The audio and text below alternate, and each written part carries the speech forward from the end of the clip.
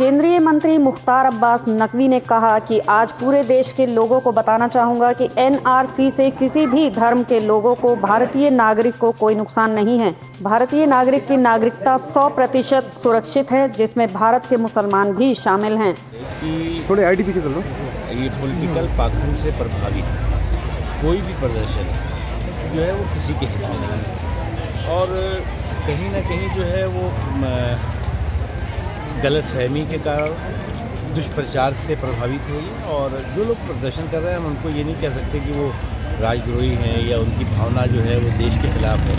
लेकिन ज़रूर कोई गुमराही गैंग है जिसने कि उनको पूरी तरह से गुमराह किया है और जिसकी वजह से एक बात का बतंगड़ बनाने की कोशिश हो रही है। आ, मैं आपको छब्बीस जनवरी के दिन इतना ही कह सकता हूँ कि जो हिंदुस्तान का कोई भी नागरिक है इसमें मुसलमान भी शामिल हैं हिंदू भी शामिल हैं सिख ईसाई सभी समाज के लोग हैं।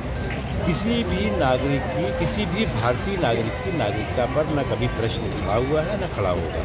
और हर भारतीय नागरिक की नागरिकता 100 प्रतिशत सुरक्षित है उसमें भारतीय मुसलमान अच्छा नकवी जी धारा तीन हटने के बाद आज पहली बार जो है कश्मीर में तिरंगा फहराया जा रहा है क्या देखिए तीन सौ हटने के बाद आज कश्मीर जम्मू कश्मीर लेह करगिल के लोगों के लिए भी और पूरे देश के लिए।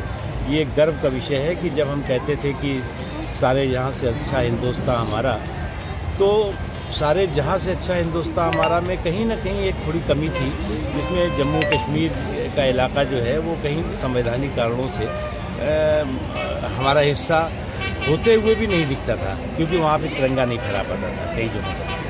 तो इसलिए जो है वो आज सभी और कश्मीर में जो है वो बहुत बड़ा बदलाव आया है। बहुत कश्मीर के लोग आज प्रगति और तरक्की की धारा के हिस्सेदार भागीदार हैं। नकवी जी नकवी जी भाजपा के लोग लगातार जो है विवादित बयान दे रहे हैं। योगी जी ने भी जो है विवादित बयान दिया है। क्या कहेंगे? आप क्यों विवादित कर रहे हैं?